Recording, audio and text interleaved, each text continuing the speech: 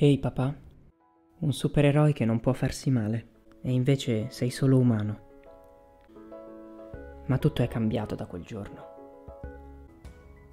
Allora ne valeva la pena?